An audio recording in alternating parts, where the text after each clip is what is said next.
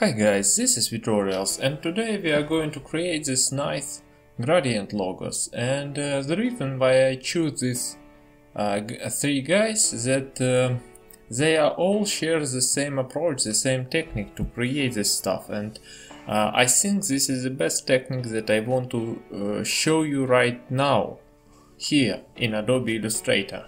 So let's start with a new document, go to File, New, I'm gonna size this document with 1920 and 1080 and click create.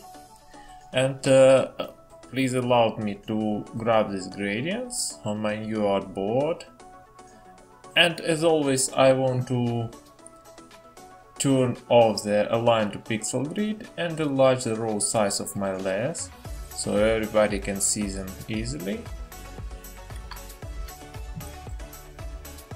First of all, I want to create a circle, so uh, grab your ellipse tool, hit on your artboard, and make sure that you link between width and height, and set the value of 700 pixels. Click OK, and align the circle both horizontally and vertically to the artboard. Choose Align to Artboard and align horizontally and vertically. And I want to swap my gradient fill, uh, swap the fill and stroke and set the stroke to black. I want to leave the stroke weight to 1 pixels. Then I want to create a smaller copy of that, so go to the scale tool, double click on it, set the uniform to 35% and click copy to create a small, smaller duplicate. Enlarge the stroke, uh, stroke weight to 1 point. So now we have uh, two circles and we need to create another one. So go to your ellipse tool, hit on your artboard and set the value of 474 pixels, click OK now we have this circle, we need to align them uh, horizontally to the center. And then select this large circle and this medium, newly created. And uh, go to switch the tab to align the selection and align them both to the top. Then group them using your right mouse button context menu and uh, then align them both horizontally to the and vertically to the artboard and then ungroup them just to make sure that yeah, they are aligned.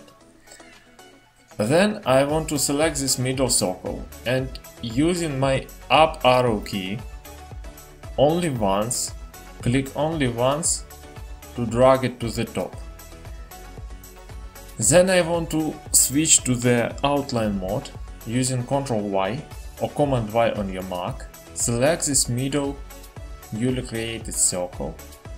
Go to your uh, rotate tool or click R and there is a center. If you can see the center, turn on your smart guides, go to view and turn on the smart guides or click Ctrl Y Command Y. Here I want to alt click or option click and to open the rotate dialog box. And here I want to set the angle 120 uh, degrees and click copy.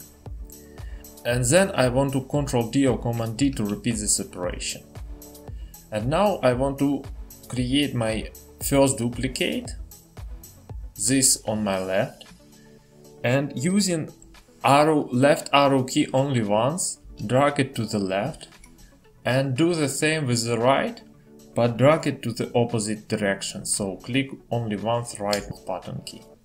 I want to create three duplicates of this stuff and I want to drag it on my side. So I want to create uh, I want to uh, work with only a middle duplicate grab your uh, shape builder tool and select this shape. One, two, and three. So we have now these three shapes and we can enter the normal mode, your preview mode with Ctrl Y Command Y and I want to give them, I want to clean up a little bit this logo by deleting all the unnecessary stuff. So I want to put this stuff on the new layer, clicking on this la uh, layer, create a new layer icon on my layer panel, grab it here, open and select all of my shapes. There are three of them. I want to group them. And maybe I want to click on this free space to lock them. Then select all of the another stuff and delete all of the stuff. So I uh, clean up my document. Now I can ungroup using my right mouse button key. And I want to give them this gradient. So this is not not very complicated gradient. I will show you how it works. So it's radial gradient with uh, uh, three color stops. Uh, rightmost color stop is the most, most darkest color and most saturated. This is less saturated and uh, more brighter and this is the leftmost is uh, very bright. So as you can see here and uh, as you can see the shape of this gradient let me grab my this is a simple uh, circle here. I didn't uh, change the direction of this gradient. So we, we created our first ring. Let me lock this layer and make it invisible for a while because I want to create a second ring. I want to grab this shape, scale a little bit my artwork and then I want to grab my shape builder tool and select the shape. No, it doesn't work. So I want to first of all Ctrl Y Command Y to enter my outline mode and I want to scale this circle on 2 pixels 1 2 to the size of 247 pixels. Like so and try again with my shape builder tool. Now it works well and I'm ready to create this shape as you can see these shapes is uh, create uh, not a triangle shape in the middle but circle. I want to leave my outline mode and give a gradient to this guy. Sample this gradient. This gradient is building with the same approach as the previous one.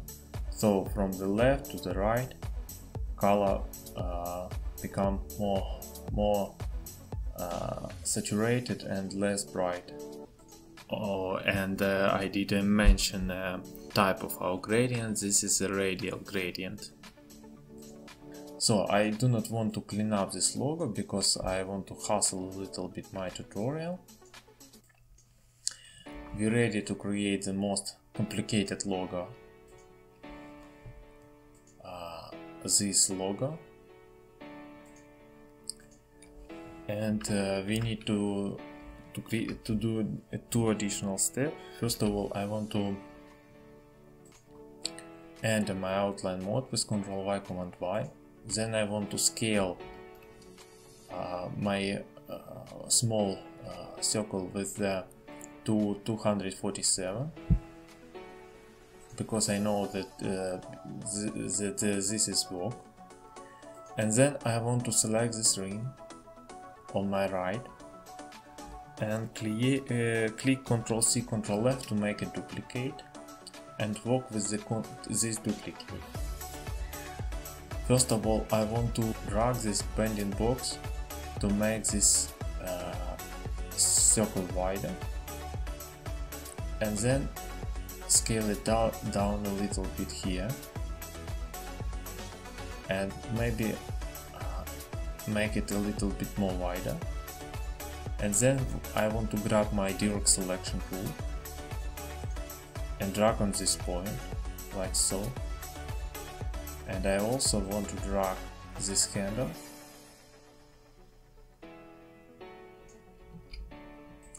I want to drag this point first and then this handle. And I want to change the direction of this handle like so so we, uh, now we have this line that is crossing our shape this shape on the middle. And this is what actually actually what I want. I want a little bit change the direction here. And now we and now we have this shape this is I want to rotate it with the rotate tool click R on your keyboard and then uh, alt uh, alt option click on the center and uh, make rotation on 120 degrees click copy and then ctrl D to make a duplicate. And uh, now we have a bunch of shapes. I want to select all of them and try to create stuff I need. I created first shape I created second shape and do the same with uh, another shapes so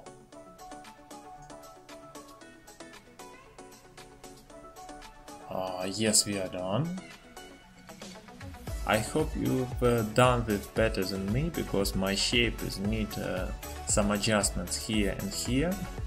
Because aim of this tutorial is actually to show you a technique not the actual end-to-end -end workflow. So let's uh, move forward, let's add some gradients to our final shape. I simply want to uh, first of all clean up all the shapes, so I want to delete this, this, I want to delete these circles and these little uh, guys here and uh, again the circles. And we have a bunch of circles actually. So I clean up my shape and I'm ready to apply a gradient. This is the same gradient that uh, this and this is a radial gradient. With a, a default direction actually. And uh, it's uh, tuned from uh, more bright and less saturated to the uh, more, saturate, uh, more saturated and less bright. Uh, let me make them visible. Of course, you can download this for free on my vitorials.net. If you like this tutorial, do not hesitate to thumb up and uh, subscribe to my channel. Thank you for following to the end. I wish you a good day